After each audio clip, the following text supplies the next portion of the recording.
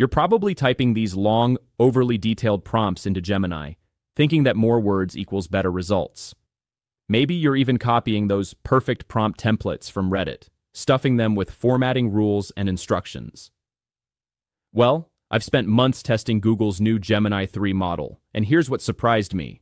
All that extra fluff you're adding? It's actually making your results worse. The model is so advanced now that it wants you to communicate like a human, not a robot.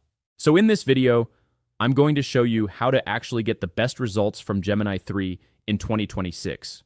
We're talking about prompting strategies that work with the model's intelligence instead of against it, real examples across coding, content creation, research, and productivity, plus the hidden features most people don't even know exist. First up, let me show you the single biggest shift in how you should be writing prompts now, and trust me, it's going to feel almost too simple. The new prompting reality. Here's the thing about Gemini 3 that Google quietly released in November 2025. This model is wildly different from anything that came before. We're talking about over 650 million people using this every month, and most of them are still prompting like it's 2023. The old way of prompting was all about being hyper-specific. You'd write something like, please analyze the attached report and extract the following fields using JSON format with double quotes around keys for revenue, expenses, and margin, ensuring that numerical values are not quoted. That's exhausting just to read, right? But here's where it gets interesting. Gemini 3 has been trained to understand context and structure naturally. So now that same prompt becomes extract Q3 2025 revenue, expenses, and net profit margin from the report. Return as JSON. That's it. Two sentences. And Gemini will give you perfectly formatted JSON without you having to explain what JSON even looks like. The model can handle up to a million tokens of context. To put that in perspective, you could paste an entire novel, a research paper, multiple spreadsheets, images, even two hours of video content, and Gemini will synthesize all of it. It's not just reading words anymore. It's understanding images, interpreting charts, analyzing code, and connecting dots across different types of media simultaneously. And the accuracy? On reasoning and coding benchmarks, it's hitting state-of-the-art scores. For factual Q&A, it's sitting around 72% accuracy, which means about 7 out of 10 times, it's nailing the answer. That's massive progress, but we'll talk about that other 28% later, because it matters. The Clarity First Framework. Let me show you the framework that's actually working in 2026. Forget everything you learned about prompt engineering from a year ago. The new approach is what Google calls Clarity First Instructions, and it's honestly a game changer. Think of your prompts in three simple parts task, input, and output. That's the mental model. You're telling Gemini what you want it to do, giving it the materials to work with, and specifying how you want the result delivered. Here's a real example. Let's say you have a document about project risks. The old way. I am providing you with a document. Please carefully read through it. I need you to identify any risks that are mentioned. For each risk, I also need you to find if there's a mitigation strategy discussed. Please format this as a table with proper columns and rows. The columns should be labeled Risk and Mitigation. Use Markdown formatting for the table. The new way. Task.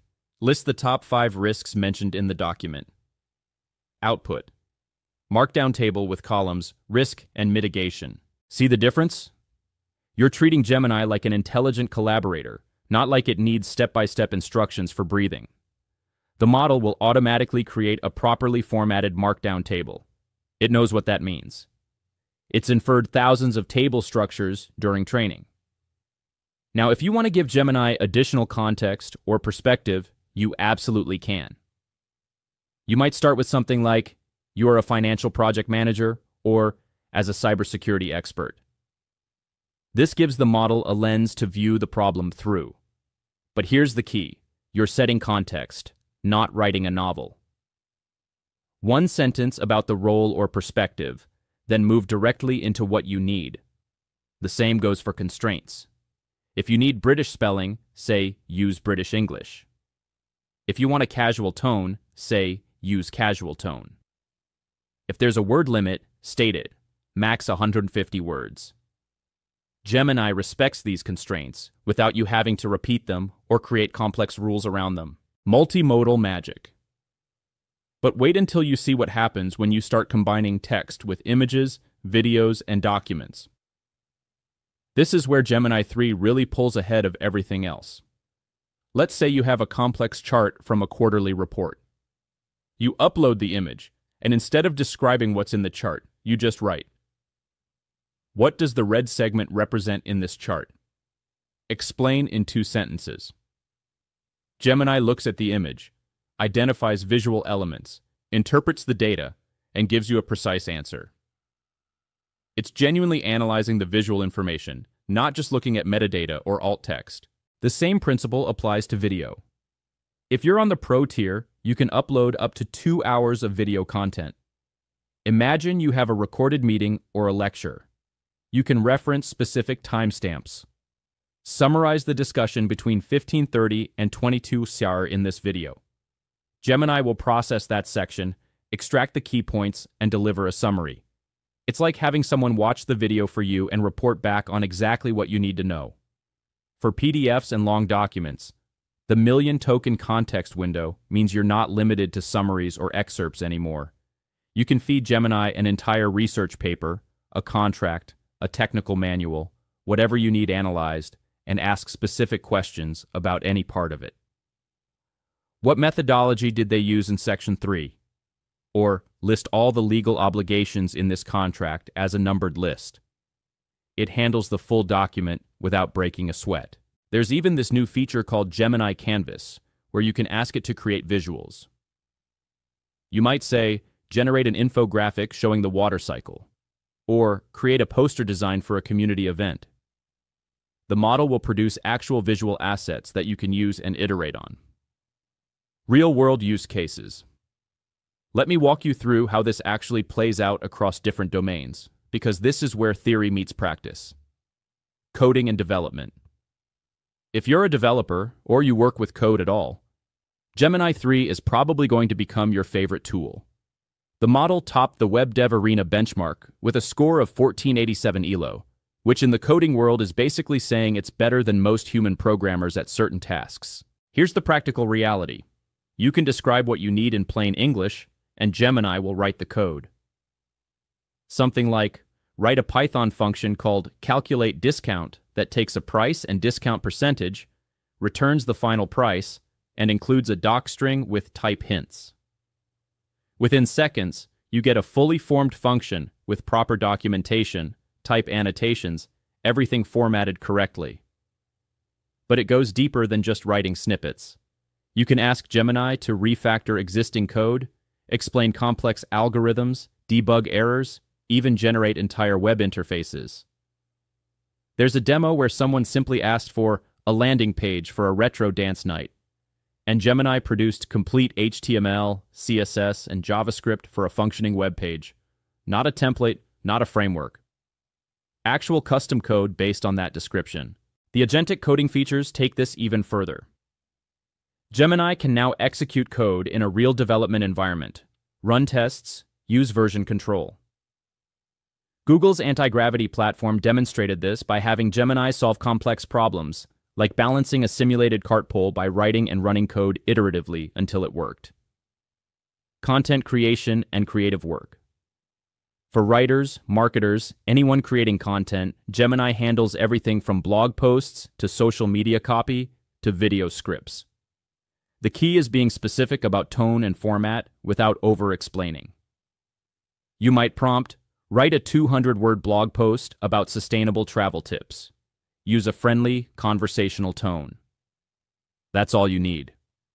Gemini will draft something engaging that matches the style you requested. If you're not satisfied, you can iterate. Make it more professional, or add a section about carbon offsets. One of my favorite examples is when someone asked Gemini to explain nuclear fusion, and the model responded with both working code to visualize the process and a poem about fusion. That's the kind of creative range we're talking about. It's not just generating text, it's thinking across mediums and finding interesting ways to communicate ideas. For visual content, you can request infographics, diagrams, illustrations. Create an infographic showing the benefits of remote work will get you an actual visual asset. It's not perfect every time, and you'll need to refine, but having a first draft appear in seconds changes the entire creative workflow. Research and learning. This is where that massive context window becomes crucial. You can upload entire textbooks, research papers, lecture transcripts, whatever learning materials you're working with, and Gemini will process all of it. A practical scenario you're studying for an exam and you have 200 pages of lecture notes. You upload them and ask, create a study guide covering the five main topics with key concepts and definitions under each. Gemini reads through everything, identifies the main themes, extracts the important details, and organizes it into a study guide format. Or let's say you're doing research and you come across a dense academic paper. Instead of spending an hour reading it, you can ask, summarize the methodology and key findings in three bullet points. What are the limitations mentioned by the authors? You get the essentials in seconds, and if you need to dive deeper into specific sections, you can ask follow-up questions. In Google Search's AI mode, there's even functionality where Gemini can create interactive simulations on the fly.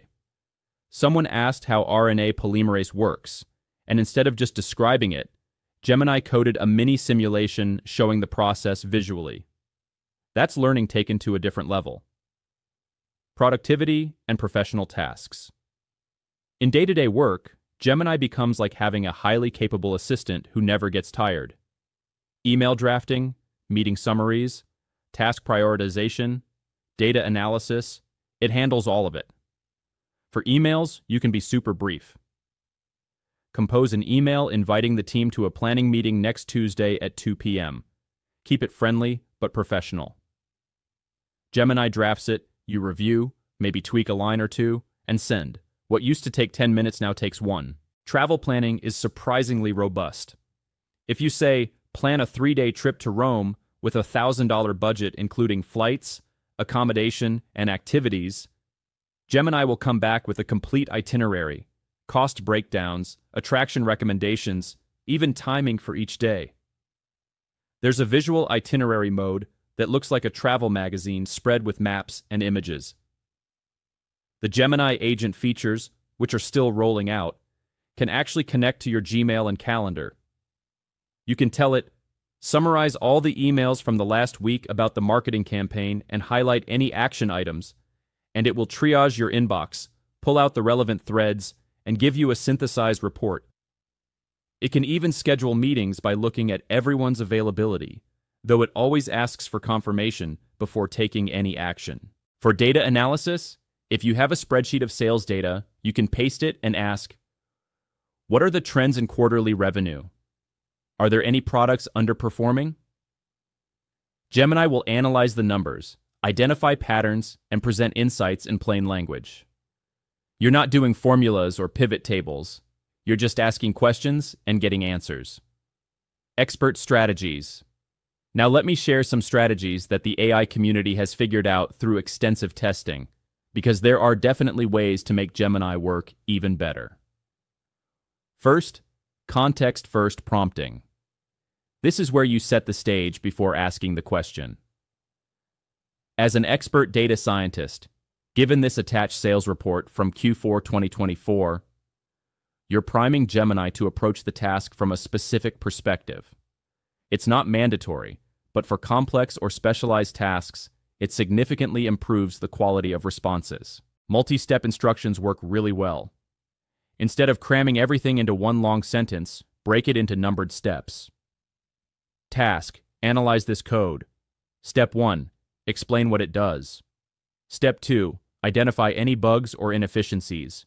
Step 3, suggest improvements. Gemini loves structure like this.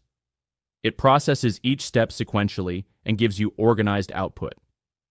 For complex reasoning tasks, explicitly asking Gemini to show its work can improve accuracy. Phrases like, explain your reasoning step by step, or walk me through how you arrived at that answer trigger the model to be more deliberate. The chain of thought approach, as it's called, helps prevent shallow or incorrect answers. There's also this interesting technique some people use called simulating a debate. Before making a recommendation, you can prompt, Discuss the pros and cons of option A versus option B before giving your final recommendation. This forces Gemini to consider multiple perspectives, which usually leads to more balanced and thoughtful responses. One thing that's really powerful, Gemini maintains conversation context across multiple turns. So if you give it a detailed document or set of instructions once, you can ask follow-up questions without repeating everything. Based on the report I shared earlier, what about the section on customer retention? Gemini remembers. You're building a conversation, not starting from scratch each time. And here's a tip that seems obvious but makes a huge difference. Iterate on the answers you get.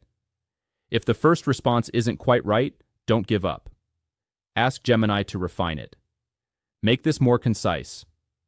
Change the tone to be more formal. Add specific examples. The second or third pass is often significantly better than the first. Warnings and limitations. Before we wrap up, I need to talk about the limitations because Gemini is powerful, but it's not magic, and you need to know where the edges are. Hallucinations are still a thing. Even though Gemini 3 scores around 72% on factual accuracy benchmarks, that means roughly 1 in 4 answers could contain errors or made up information. If you're asking about obscure facts, niche topics, or anything that could have multiple interpretations, always verify the response with trusted sources. Don't treat Gemini's output as gospel, especially for critical decisions. There are biases baked into the model, just like with any AI trained on internet data. Google has done extensive safety testing, but the model can still exhibit biases or misunderstand sensitive queries. Be thoughtful about how you phrase questions around controversial topics, and be aware that the responses might reflect certain perspectives more than others. Privacy is a real consideration. Anything you upload to Gemini, whether it's text, images, documents, could potentially be stored or used in model training, unless you're using specific enterprise settings that guarantee data isolation. Don't upload confidential business documents, personal information, or anything you wouldn't want on a server somewhere. Read the terms of service for whatever tier you're using. If you're using the agent features or any functionality that connects to your Google Workspace, be careful. These tools can perform actions like organizing emails, scheduling meetings, or creating documents. They always ask for confirmation before doing anything significant, but still, supervise them. Don't just blindly approve actions without understanding what's happening. The free version of Gemini has usage limits. You might hit monthly caps on the number of queries or the length of conversations. The paid Pro and Ultra tiers give you more capacity and speed, plus access to features like Deep Think mode and extended video processing. If you're planning to use Gemini heavily, you'll probably need a subscription. And finally, remember we're early in the Gemini 3 era. Features are rolling out gradually. Some capabilities mentioned here might be in beta or limited to certain regions or account types. Google is updating the platform constantly, so what's true today might change in a month. Keep an eye on official announcements, so that's Gemini 3 in 2026. The biggest shift is moving away from over engineered prompts and toward clear, conversational instructions. Think of it as talking to a highly capable colleague who understands context and can work across text, images, code, and video simultaneously. Use the strategies we covered. Keep prompts simple. Structure them with task and output. Leverage the multimodal capabilities and iterate on responses until they're exactly what you need. Whether you're coding, creating content, doing research, or managing daily tasks, Gemini can genuinely save you hours of work if you know how to guide it properly. What are you most excited to try with Gemini? Drop a comment and let me know. If this guide helped clarify how to actually use this tool effectively, hit the like button and subscribe for more AI breakdowns. I'm constantly testing these models and sharing what actually works versus what's just hype. Thanks for watching, and I'll see you in the next one.